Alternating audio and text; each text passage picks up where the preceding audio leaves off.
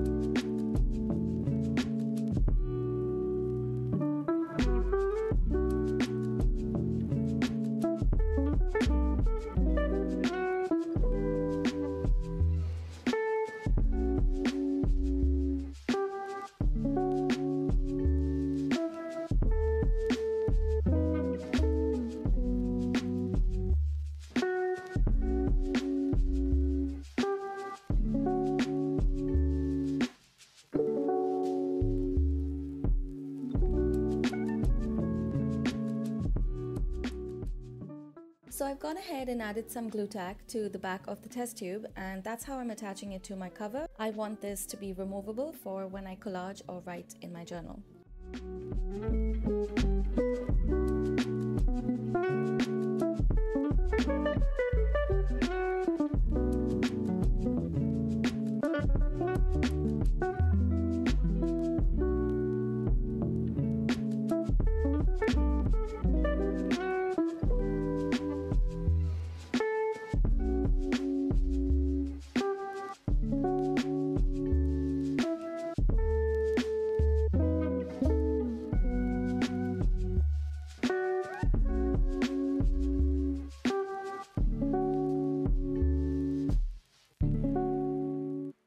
At some point during creating the cover, I realized that there was no way that I could complete this entire project in one sitting, and that's when I decided to make this into two parts. So if you're looking for both of those videos, they will be listed under the new playlist named Watch, Learn and Create. And speaking of playlists, please consider checking out the other playlists on my channel as well. I have a very talented design team who create wonderful makes and deserve some support too. I also do collaborations with other YouTubers that maybe you don't know of yet, so please feel free to browse through and uh, support the other ladies as well.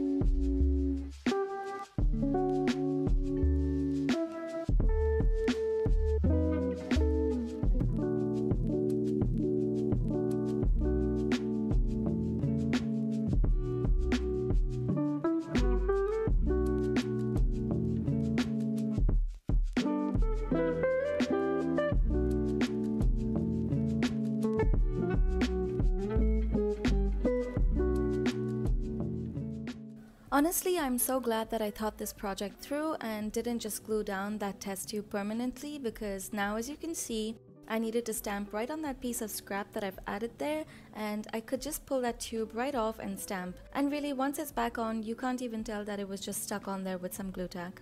Also, I think it's important that I bring this up. When I initially started creating, I thought I would have to cut up some craft stock and back my envelopes for a little bit of reinforcement. But really the Tim Holtz craft stock is so thick and sturdy that I didn't have to do that. So if you're planning on recreating this project, just make sure that you use some type of heavyweight paper to add to the front cover, either as scattered scrap pieces like I've done, or print the tag off on craft stock or just start off with a really nice sturdy base to begin with. And that brings us to the end of part 1. I hope you lasted through the video and enjoyed watching me create. Also really quickly, I just wanted to say a big thank you to Sally Ashton for her lovely comments and reminding me that I should probably do more tutorials. It was right after her comment that I decided to make this video and so thank you so much Sally, I appreciate you. And that's all from me, I'll see you guys on the next one. Stay crafty!